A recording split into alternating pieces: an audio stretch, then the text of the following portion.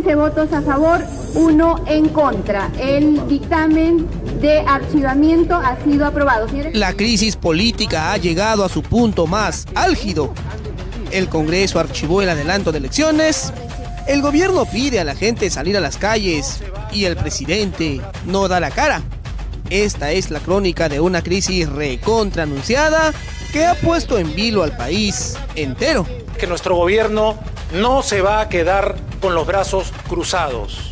El primer acto político del día lo hizo el Nuevo Perú, que con gigantografía en mano pedía el cierre del Congreso. ¡No a la ¡Cierre el Congreso! A las 9 y 30 de la mañana estaba programada la Comisión de Constitución. Los que llegaron tarde apuraban el paso, unos con la esperanza de que todo el embrollo político a causa del adelanto de elecciones pase rápido. Yo lo único que sé es que el país en estos momentos está demandando dos cosas, tranquilidad, certidumbre. No quieren vivir en esta situación en la que no sabemos qué va a pasar.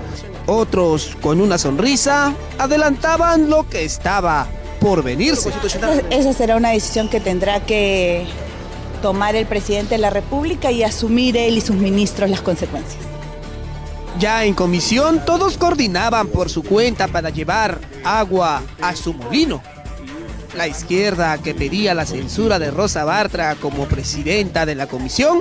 Por falta de mecanismos de predictibilidad, por falta de responsabilidad en los mecanismos de democracia interna que deberían haberse tenido en esta comisión, pueda someterse a voto en la moción de censura a la presidencia de la comisión. Y los fujimoristas apurando para, de una vez, mandar al archivo el proyecto de adelanto de elecciones. Los faltones reclaman predictibilidad. No aceptamos maniobras dilatorias. Vayamos de frente al voto, señora presidenta. Rosa Bartra permaneció en la presidencia porque el pedido para censurarla no alcanzó los votos requeridos. Velázquez Quesquén, en contra. Mantilla, contra. El Becerril no ha alcanzado la votación, no se ha admitido la moción de censura. Entonces, desde la izquierda y con apoyo de otras bancadas, iniciaron otra acción. Pidieron que el dictamen que recomendaba el archivo pase al Pleno para que todos los congresistas opinen y voten. El Fujimorismo ni siquiera quiso votar por esa posibilidad. Entonces la izquierda y sus aliados se fueron. No corresponde debatir, congresista, eh, congresista Costa. Congresista Mulder, tiene usted el uso de la palabra.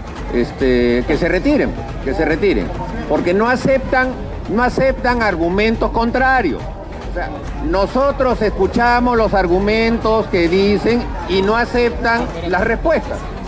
Y vienen con posiciones absolutamente comprometidas con la corrupción con las que ellos han defendido al gobierno vigente.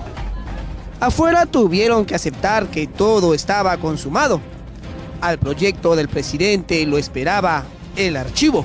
Primero lo que quieren es archivar rápidamente, de manera express, este proyecto que recién íbamos a comenzar a discutir después del 12 de octubre. Y sí, la Comisión de Constitución lo archivó. Creo que el tiempo y el espacio que se ha dado para debatir ha sido amplio y suficiente. ¿Qué le diría al país? ¿Qué le diría al país en esto? Que es hora de pensar en los problemas de inseguridad, desempleo, recesión y eh, que en este momento lo que hay que hacer todos es pensar primero por y para el país. Con el archivo logrado, fujimoristas y apristas pidieron al gobierno pasar la página. Para eso dicen, le tienden la mano.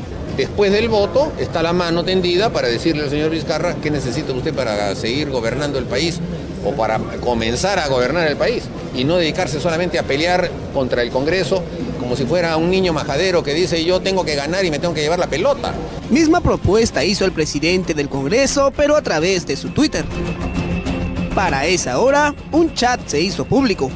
En él se leía al fujimorista Miguel Elías hablar de la elección del Tribunal Constitucional de lunes y de pasadita una vacancia presidencial. El lunes disciplinadamente votaremos por el TC y con la misma asistencia la vacancia. La vocera de Fuerza Popular admitió que fue ella quien creó el grupo de WhatsApp donde ocurrió la conversación, pero negó que se haya conversado sobre vacar al presidente. Pero lo que yo sí puedo afirmar categóricamente como responsable de la bancada de Fuerza Popular, que en agenda no está la vacancia del señor Martín Vizcarra. No hay ninguna moción en relación a ello, así que yo no voy a especular de algo. La izquierda y sus aliados aún se aferraban a un adelanto de elecciones. Esta vez depositaron sus esperanzas en el mensaje del gobierno. Y estamos en un ejecutivo que esperamos se pronuncie sobre el tema de la cuestión de confianza o de cierre del Congreso. La expectativa al discurso era total. En el Congreso los parlamentarios se agruparon en privado para verlo. Los trabajadores hicieron lo mismo. En Palacio anunciaban que luego del discurso del Premier habría preguntas. Todos esperaban el anuncio de cierre del Congreso. Sin embargo, no pasó nada. Del Solar habló solo tres minutos. Llamó a la población a salir a las calles.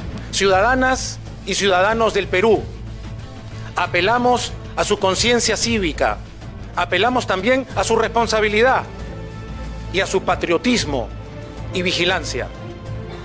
No permitamos que nuestros derechos, una vez más, sean pisoteados. Y dijo que el gobierno no se va a quedar con los brazos cruzados. ¿Y qué más? Muchas gracias. Así es, nada más. La cara de todos fue... ¿Pa eso? Los periodistas no pudieron hacer preguntas.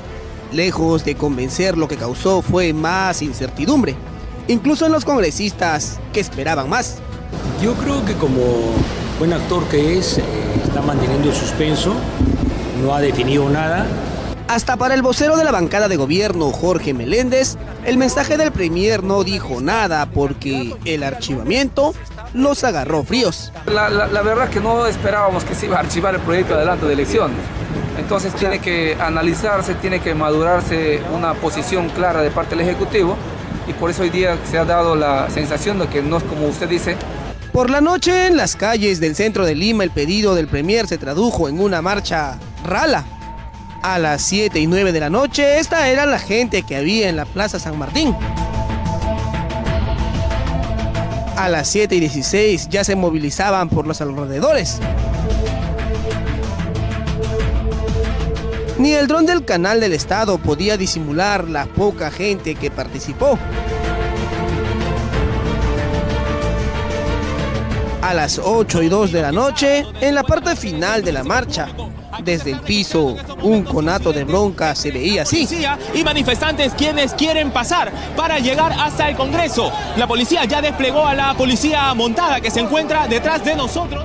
Desde el aire se veía la real dimensión de la convocatoria del gobierno.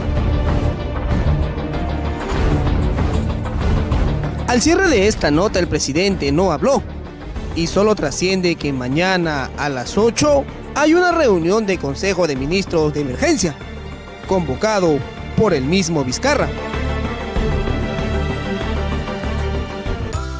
Gánate uno de los vales de consumo de 100 soles que te regala PBO Digital y Deli Bakery. Disfruta de un súper desayuno familiar con tu chicharroncito, tamalito, huevito revuelto con salchicha de guacho, tu camotito y café para toda tu gente. En el Facebook del PBO Digital entra el enlace del sorteo de Deli Bakery y sigue las instrucciones. Ya lo sabes, ingresa al Facebook del PBO Digital. Invita a tu familia al Deli Bakery. ¡Qué rico!